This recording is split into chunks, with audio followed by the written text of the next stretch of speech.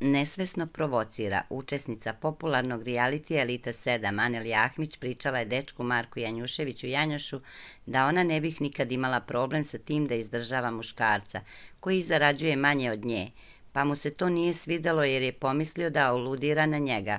Ona mu se poverila u spavaćoj sobi, da bi on tokom razgovora samo odjednom ustao i otišao u kuhinju. Nemam problem sa tim da izdržava muškarca. Naravno, ako vremenom počne da se trudi, da nađe dobar posao i da gleda sebe, da obezbedi kako treba.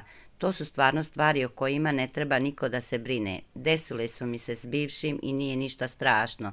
Nisam takva žena da moram da podrazumevam da će mi meni neko sve da kupuje. To stvarno nikad nije bilo opticaju pa da je ne znam šta i koliko muškarac bogat. Pričala je Aneli da bi Marko samo skočio sa kreveta i izleteo napolje kao vodom oparen.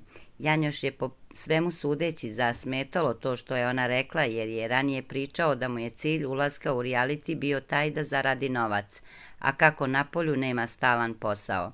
Nerviraju ga ovakve priče, a što Aneli očigledno ne razume. Inače, skoro se desila potresna situacija u eliti kada je Marko Janjušević Janjoš prepričao da je sanjao pokojnog brata, čije je slike također lepio po sobi za izolaciju.